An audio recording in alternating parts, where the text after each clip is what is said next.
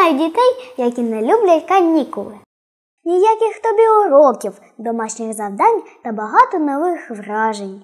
Журналістка Настя Садома, наприклад, цього літа вчилася ходити на справжніх яхтах. Подробиці у наступному сюжеті. Мої літні канікули стартували у Франції. Пізнавати світ це так цікаво, скажу я вам. Особливо мені сподобався Нант, місто, якому більше двох тисяч років. В Нанті, до речі, народився відомий письменник-мандрівник Жюль Верн. А ще тут дуже смачне морозиво.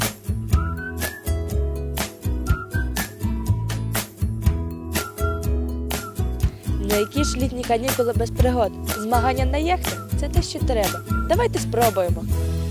На яхтах я ходила вже в Україні на Сталтівському водосховищі, і відпочинок у дитячому спортивному таборі видався не менш захоплюючим. Щоранку нас будив і скликав на зарядку справжній морський дзвін, який називається ринда.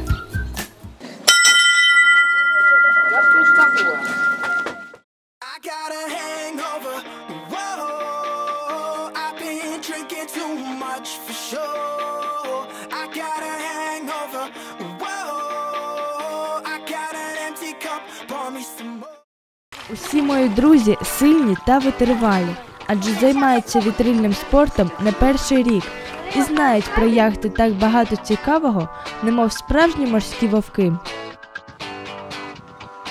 Чем отличается хождение на оптимисте от кадета?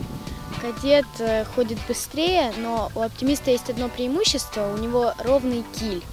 Если у кадета он такой более треугольный, вон, можете посмотреть, кадет стоит, и э, кадет постоянно э, кренится, то у оптимиста дно ровное, и он э, ходит ровней, но кадет ходит быстрее. На кадете два человека ходят, на оптимисте один. На кадете веселее вдвоем. Вот ты идешь, Да, поболтал. Да, можно поговорить.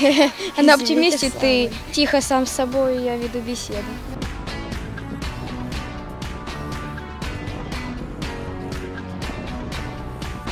Что означает вооружить лодку? Подготовить ее к спуску на воду. А что для этого требует? Страхо- Ну, во-первых, установить парус, э, его застраховать, провести шкоты, ну и все, собственно говоря. Ну, добить шпильтов. Вчив нас ходити на яхтах тренер Андрій Михайлович. Він ходить на яхтах з 6 років, тому знає про них майже все. Завдяки тренеру ми навчились готувати яхту до виходу на воду і дізнались секрети досвідчених яхтсменів.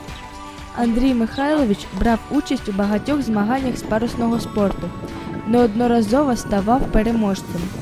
Нам він порадив ніколи не панікувати на воді, тренуватися і завжди вірити у себе. І перемоги на регатах будуть наші.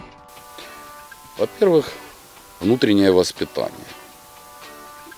Среди парусных людей не бывает плохих людей. Почему? Потому что все парусники, э, все, в принципе, как и практически все моряки, э, всегда готовы выручить друг друга. Пару- Парусный спорт это очень сложный спорт.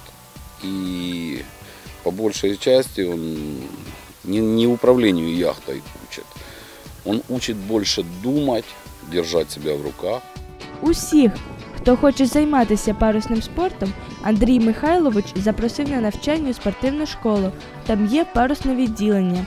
Взимку можна буде закріпити теорію, а наступного літа знову гайнути сюди, на Салтівське водосховище.